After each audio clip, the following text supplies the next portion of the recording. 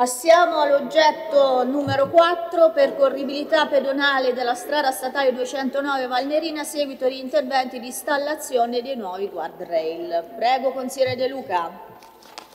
Grazie Presidente. Io Assessore esporrò integralmente la mia interrogazione e poi lei risponderà ovviamente quello che le è pertinenza perché eh, ecco, no, no, non entro nel merito, eh, entrerò nel merito dopo e poi ecco, andre, andremo a vedere nel dettaglio. Con questa interrogazione noi vogliamo porre eh, l'attenzione su quello che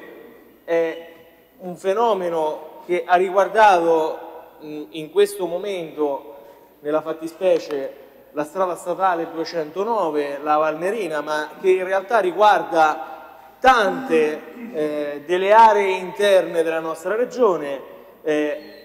è vero, parliamo di 1000, 2000, 3000 abitanti, alla fine se andiamo a fare le somme parliamo di circa il 30% della popolazione umbra. Quindi parliamo di cittadini che devono avere pari dignità e diritti di quelli che vivono a Corso Vannucci. Che cosa è successo? Ci siamo ritrovati nel giro di pochi giorni a vedere un intervento da parte di ANAS che nella sostituzione e installazione di guardrail sul tracciato della strada statale 209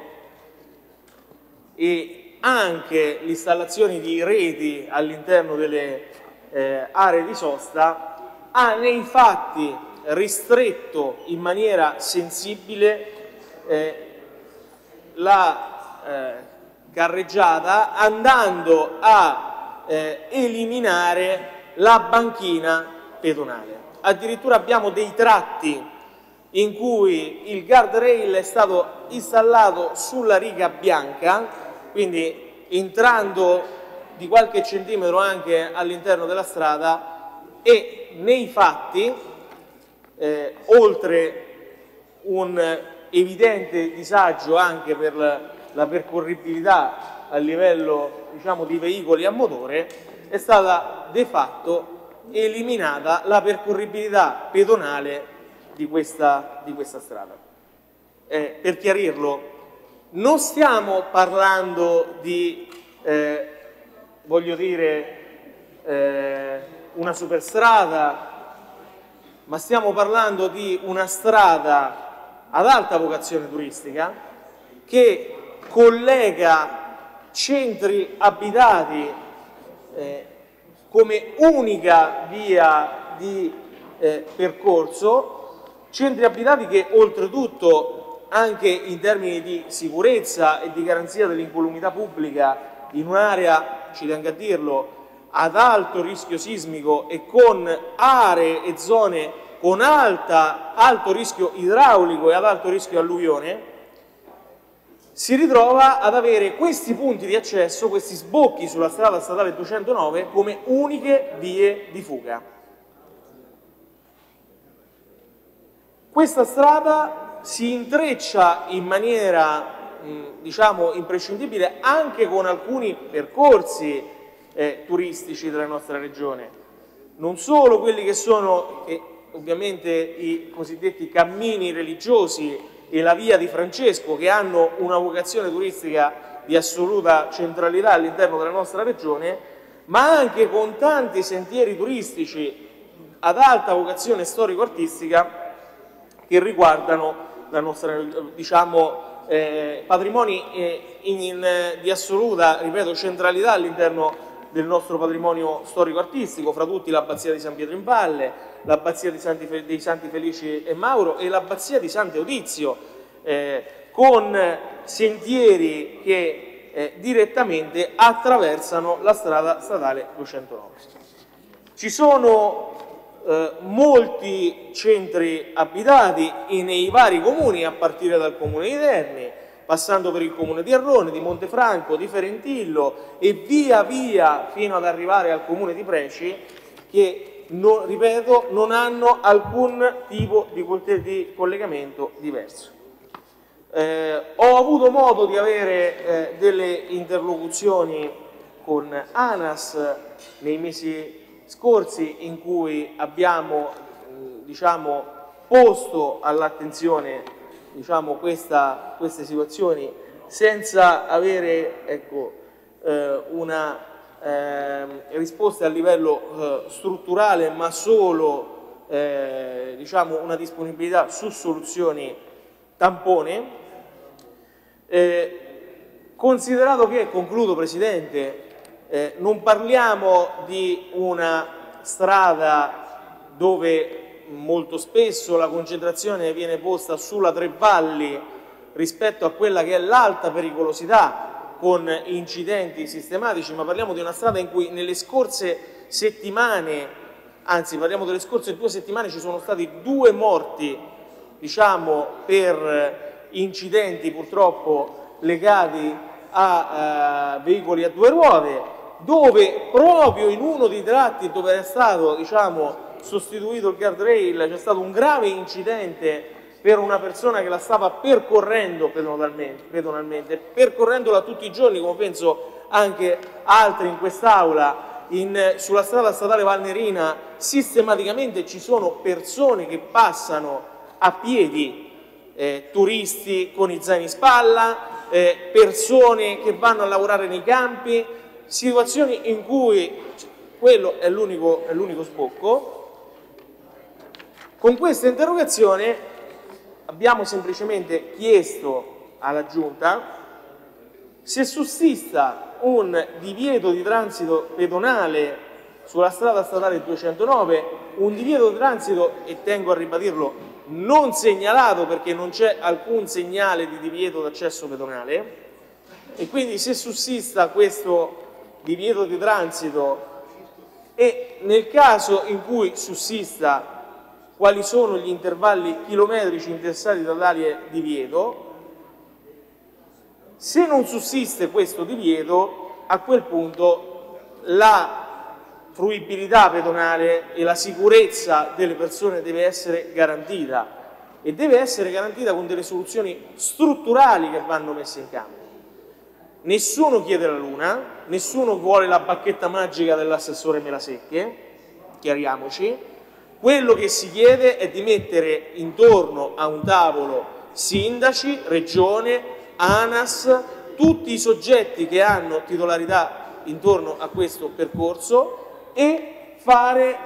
progettare delle soluzioni, ripeto, strutturali, perché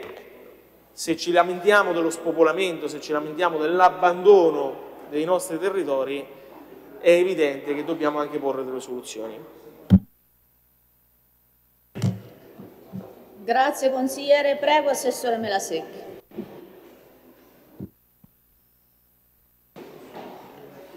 Eh, eh, dunque, eh, sembra incredibile, ma un minuto fa esattamente, dopo che aveva annunciato e sollecitato la risposta da parte dell'ANAS, un minuto fa mi è giunto il messaggio dalla mia segreteria che un minuto prima era arrivata la risposta dell'ANAS da Roma che leggo integralmente, l'ho appena letta, poi la commentiamo, io farò il mio commento. Atto numero 2143 Consiglio regionale, interrogazione a risposta immediata del consigliere De Luca, percorribilità pedonale della strada statale 209 Valnerina a seguito degli interventi di installazione di nuovi guardrail. Il riscontro della cortese sua dello scorso 18 giugno si rappresenta quanto comunicato dalla competente direzione ANAS Umbra. Con verbale di consegna del 1 ottobre 2018 si è formalizzato il trasferimento ad ANAS di circa 243 km di strade regionali e provinciali, tra cui la strada statale 209 Valnerina. Nell'ambito dell'attività di riqualificazione e potenziamento della rete stradale Umbra, ANAS ha provveduto ad eseguire interventi per il ripristino della pavimentazione stradale ammalorata sostituzione ed integrazione della segnaletica verticale e orizzontale e adeguamento delle reti paramassi. Per quel che riguarda le barriere laterali guardrail, queste sono state adeguate ed integrate lungo la strada statale 209 sulla base dei dati di incidentalità e installate sul bordo esterno della piattaforma stradale come espressamente previsto dalla normativa vigente. L'articolo 109,1 del codice della strada, infatti, disciplina che il transito dei pedoni in assenza di marciapiedi o banchina debba avvenire sulla carreggiata opposta al senso di marcia dei veicoli. Ad oggi non sono state emanate ordinanze di limitazione del transito pedonale. Per i tratti stradali che non consentono il passaggio dei pedoni a causa della vegetazione, ANAS ha già rappresentato nel corso dell'incontro del 16 maggio la disponibilità ad effettuare un sopralluogo congiunto con gli enti interessati per verificare la necessità di eventuali interventi e la relativa fattibilità tecnica. In relazione alle criticità lungo la fermata dell'autobus citata, la scrivente provvederà a modificare l'attuale recinzione per consentire all'utenza di usufruire del pubblico servizio in sicurezza. Questa è la risposta che leggo in diretta. Allora, qualche osservazione. Qualche osservazione. La situazione Genera... Intanto spiego una cosa evidente, la Regione non ha un rapporto gerarchico nei confronti dell'ANAS, c'è un rapporto derivante dal contratto di servizio per quanto riguarda le nuove opere e per quanto riguarda le manutenzioni. E la moral suasion che può esercitare viene esercitata puntualmente, debitamente dalla Regione dalle grandi opere alle manutenzioni. Il, abbiamo in corso una serie numerosissima di interventi di importanza fondamentale, storici, che non sto qui ad elencare. Sto, stiamo, per quanto riguarda le manutenzioni straordinarie, portando a compimento un, una serie di interventi enormi, mai visti, che porteranno le strade statali, regionali, mai, eh, ripeto, accaduto nel passato, a consolidamento di tutti i viadotti, a consolidamento dei muri perimetrali, a consolidamento delle frane che da vent'anni incombevano, parlo di San Gemini, Marciano, eh, Colle Valenza, ah, e per quanto riguarda i viadotti in modo particolare ricordo il Montoro, che aveva problemi strutturali gravissimi e avrebbe dovuto essere eh, abbattuto e ricostruito ex novo, con problemi enormi per il traffico regionali e nazionali, per cui si sta provvedendo purtroppo con una certa lentezza, da me personalmente rilevata in più occasioni in tutti i modi, nei confronti dell'ANAS. Non è finito. Per quanto riguarda le strade regionali, ricordo che le passate amministrazioni di sinistra, visto il campo largo a cui lei oggi piacevolmente appartiene, eh, avevano eh, eh, accumulato 10 milioni di debiti la Regione nei confronti della provincia, per cui la provincia oggi di Perugia, abbiamo sistemato la partita anche con quella di Terni, ha 10 milioni per intervenire per le manutenzioni ordinarie e straordinarie e deve provvedere quanto prima. Quindi su questo la pregherei di insistere anche lei nei confronti della provincia. Per quanto riguarda i comuni, le ricordo e completo il quadro, ci sono dei finanziamenti importanti da parte del governo. Quindi nel complesso, devo dire, mai c'è stata un'attività di manutenzione come in questi anni e come in questo periodo. Nel caso specifico, questo tipo di lavorazione ANAS l'ha decisa a prescindere dalle informazioni che noi chiediamo preventivamente per i cantieri, tant'è che le preciso l'incontro che ho chiesto ad ANAS convocando i dirigenti regionali è praticamente era stato fissato per la set questa settimana, ma per ragioni di assenza dal lavoro dei dirigenti è stato rifissato per i prossimi giorni. Quindi chiederemo in quel momento sia il quadro complessivo, a che punto stanno i cantieri, perché vorremmo assolutamente accelerare Lo ricordo che noi abbiamo chiesto ripetutamente che le imprese lavorassero su due turni e il sabato, cosa che per assenza, carenza di personale, le imprese e la società di categoria, d'altronde lei come ben sa, i sindacati non gradiscono che vengano fatte ore di straordinario, per cui da questo punto di vista noi cerchiamo di accelerare al massimo anche questi lavori.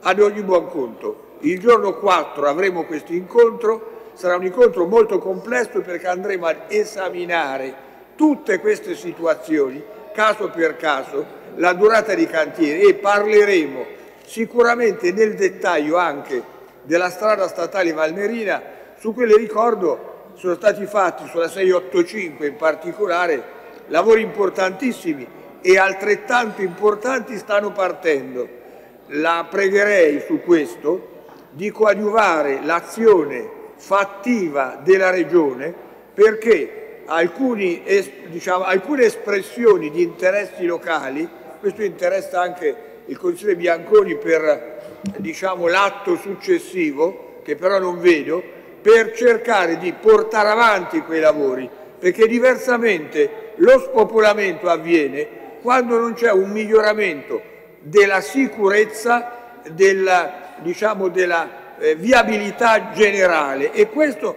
su questo, ripeto, stanno partendo appalti importantissimi, come il primo stralcio della Tre Valli, ormai è, cosa, è in corso la gara d'appalto da parte dell'ANAS, abbiamo come noto e concludo il progetto finalmente del secondo stralcio per il quale abbiamo chiesto con la Presidente anche il finanziamento a livello nazionale al Ministero, quindi devo dire c'è un'attività intensissima che riguarda anche e soprattutto la Valnerina. Sui dettagli di cui lei parla, al di là della risposta che le ho letto appena pervenuta, faremo insistentemente, diremo le nostre buone ragioni e riporteremo quanto da lei sottolineato nell'interrogazione per avere risposte concrete eh, in merito a quanto potremo dall'ANAS eh, avere in termini di operatività migliore rispetto a quanto fatto fino ad oggi. Grazie. Grazie Assessore, prego consigliere De Ruca per la replica. Grazie Presidente, ma Assessore Melasecche, oneri e onori, quando si prende il merito di ogni intervento di ANAS è sempre merito suo, quando ci sono diciamo, situazioni critiche è colpa di ANAS. Eh, io non mi ritengo assolutamente soddisfatto dalla risposta di ANAS. La risposta di ANAS, anzi, per quanto mi riguarda, lo, lo voglio dire in maniera chiara, è indisponente, perché inserire all'interno di quella risposta il fatto che la strada vada percorsa al senso contrario di marcia dai pedoni, beh, il codice, il codice della strada non serve che ce lo spiega ANAS, no? Quindi è evidente che la restrizione però della carreggiata rende ovviamente obbligatorio, così come loro scrivono, ai pedoni di dover camminare in mezzo alla strada. E con una strada in cui su quei tratti no, ci ritroviamo a quel tipo di pericolosità è una cosa improponibile per persone che per poter lavorare, vivere, andare a eh, comprare da mangiare, così come mi ha risposto qualcuno, ma che non ce l'hanno la macchina? No, non ce l'hanno la macchina, perché ci sono anche persone anziane, persone che hanno il sacrosanto diritto di potersi muovere in piena sicurezza. Quindi in questo momento io credo che a prescindere le rigiro quello che è stato il suo invito, nella misura in cui, per quanto mi riguarda, ad esempio, l'intervento sulla Tre Valli ha, eh, che è diciamo, l'argomento diciamo, unico di discussione all'interno degli interventi di ANAS, perché per la strada statale 209, così come è stato ripetuto più volte anche ai sindaci, non interessa assolutamente, no? Allora, se la Tre Valli è l'unico argomento di discussione, quei 25 milioni di euro messi su eh, eh, eh, diciamo, l'intervento su Vallo di Nera l'avremmo potuto spendere magari per eh, sistemare questi interventi con una proposta concreta, proposta concreta che è quella che è scritta anche all'interno di questa interrogazione, facciamo e trasformiamo a questo punto la Greenway del Nera nella via ciclopedonale, ci sono degli investimenti importantissimi in questo momento sul tratto Ternica Scala delle Marmore, liberiamo quella strada e facciamo, però garantiamo che tutti i centri possano essere collegati là. Soluzione che però non è, diciamo, universale. Perché? Perché oltre a dei centri abitati che se andiamo a sommare, non dico che parliamo di migliaia di persone, ma di questo stiamo parlando perché ci sono anche aree industriali importanti, parliamo anche di centri, eh, diciamo, di case che vivono sul dirimpetto sulla strada 209 e che non possono avere questo tipo di, eh, diciamo di questo tipo di, eh, ignorando, questa, ignorando, i diritti di, di, di queste persone. Quindi su questo io le posso assicurare, Assessore, che le morderò i calcagni, non passeremo.